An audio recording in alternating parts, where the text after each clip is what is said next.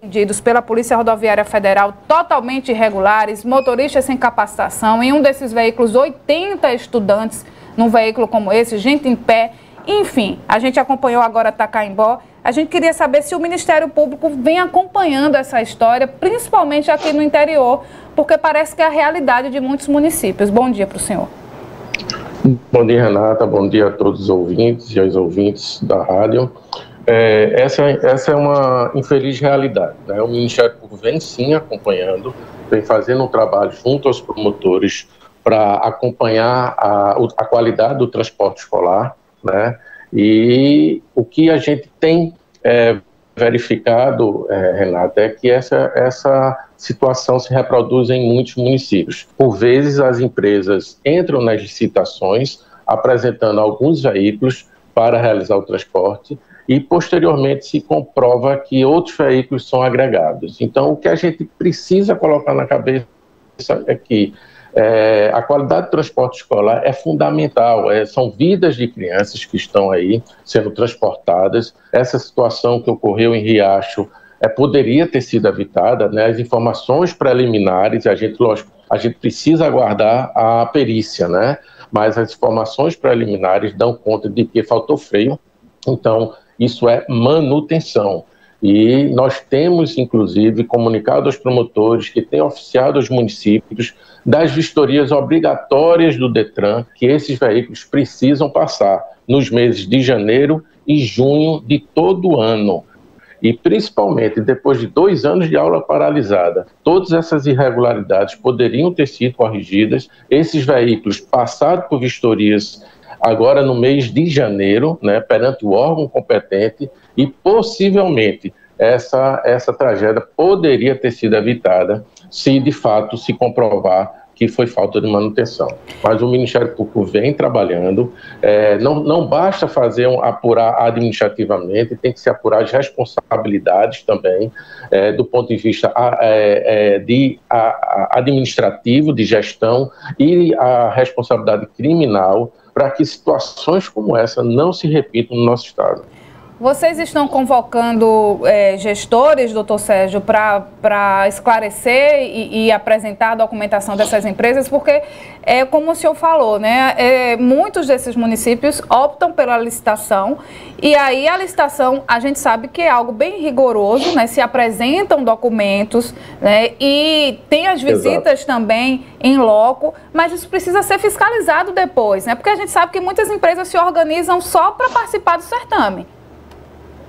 Essas, essas reuniões já foram realizadas, né? já fizemos é, reuniões com a Undime, é, com a MUP, com os próprios membros, né, promotores e promotores de justiça ao longo desse período aí que passou, né, 2019, 2018, 2020 também.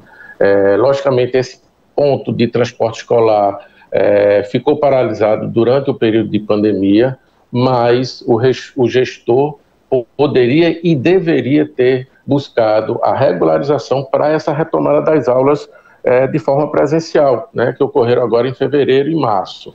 Mas é, uma nova rodada de reuniões vão ser realizadas a partir, infelizmente, desse fato, mas eu quero deixar claro para todos que o Ministério Público vem sim trabalhando, é, já detectamos situações, como eu falei, é, semelhantes a essa que você narrou agora do ônibus, né, em outros municípios do Sertão, e é preciso, é, efetivamente, que o tema educação seja tratado maneira, de maneira muito responsável pelos gestores. Né? É, já passou a época de se brincar, já se passou a época de oba-oba, é preciso sim agir, porque essa nação clama por uma educação de qualidade, principalmente após dois anos, quase dois anos e meio, sem aulas presenciais, com retrocessos cognitivos é, consideráveis para esses estudantes e o transporte escolar é o caminho para que esses estudantes cheguem com segurança à escola e possam recuperar esses conteúdos e os pais tenham a certeza de que seus filhos estão sendo transportados em veículos com qualidade. O que a gente observa também, é, doutor Sérgio, é que o discurso da educação ele é muito bonito, e esse ano principalmente, né, que é ano de eleição, e que a educação não é só sala de aula. Né? Todo esse processo, quando o estudante deixa sua residência até chegar à escola, tudo isso precisa ser visto. Nesse caso de Riacho das Almas, foi na zona rural estradas difíceis, perigosas, cheias de serras, né?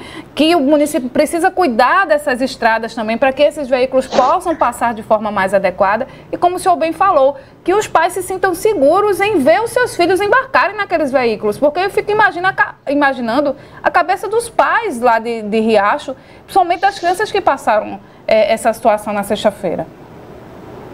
É, exatamente. É, o discurso, como eu falei, tem que ficar para trás. A gente tem que observar agora as ações efetivas.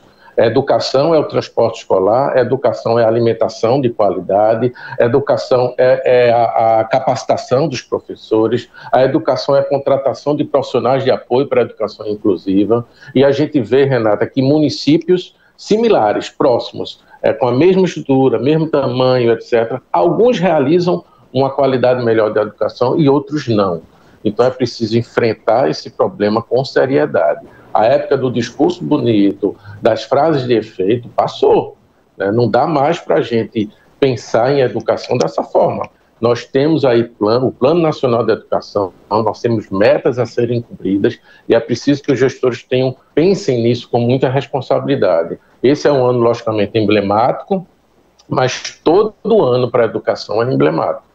Né? Então é preciso que a gente trabalhe. É, nós realizamos, só para dar ciência, reuniões com o Detran já, realizamos reuniões e encontros com a Polícia Rodoviária Federal sobre esse tema de transporte escolar, para que, de fato, os municípios sejam chamados à responsabilidade e, de, e, que as empresas que são contratadas, e, e, a gente sabe que muitas vezes o município não tem a frota necessária para cobrir o, o, toda a área do município, é preciso contratar empresas, mas essas empresas, é, após a, a, a licitação, que tem, como você falou, um rigor muito grande, o serviço seja implementado da forma como foi registrado em ata. Né? Então, é isso que o Ministério Público vai dar continuidade nesse trabalho de fiscalização de apuração, especialmente aí agora em Riacho das Almas, mas em todos os municípios a gente vem atuando, mas as frentes que a gente atua são muito amplas, mas a educação precisa ser prioridade, está sendo prioridade na gestão do Ministério Público e vamos acompanhar é, essa situação e outras que aparecerem.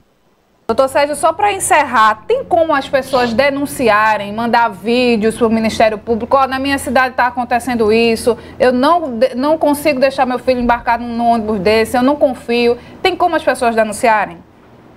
Sim, tem. O Ministério Público tem um canal da ouvidoria, né? Podem acessar o, o e-mail, o, o site do Ministério Público, né? Que é o www.mppe.mp.br do lado direito da tela tem um, vai ter um íconezinho colocado Olá, posso ajudar? Basta clicar nele que se entra no canal da ouvidoria no nosso Audívia, que chama, e a partir daí o, a pessoa pode fazer as suas denúncias, as suas, as suas queixas ao Ministério Público, elas são repassadas diretamente aos promotores, tá? É, temos também um e-mail, é, que é o Caop Educação é, arroba, é, www, espera aí, deixa eu só lembrar aqui. Calpa Educação, Educação. Arroba, mppe.mp.br, sem o cedilho tio, tá? Você uhum. pode aí é, depois reproduzir aí na rádio. Já, já Educação, arroba mppe.mp.br e as pessoas podem também mandar diretamente para o Ministério Público. E ainda tem um telefone, o Disque MP é o, o 127 127, uhum. de 8 às 14 horas. É, o cidadão pode entrar em contato e também fazer as suas denúncias. Perfeito, doutor Sérgio. Muito obrigada, viu, pela sua participação aqui no Manhã Cidade. Qualquer novidade, agradeço. a gente está aqui aberto sempre para ouvir o Ministério Público, porque é o, o, o, braço que ajuda a população na fiscalização para que as coisas possam acontecer dentro da normalidade, da legalidade, da legalidade senão virar bagunça. É, eu agradeço o espaço e coloco o Ministério Público à disposição. Nós estamos de portas abertas à população é, procure o promotor ou a promotora da sua cidade, ou através dos nossos canais, o Disque MP 127, que às vezes talvez seja o mais fácil para a população entrar em contato, e nós estamos à disposição, aptos a trabalhar para a sociedade. Muito bem, conversamos com o doutor Sérgio Gadelha, que é promotor de justiça, coordenador do Centro de Apoio e Defesa.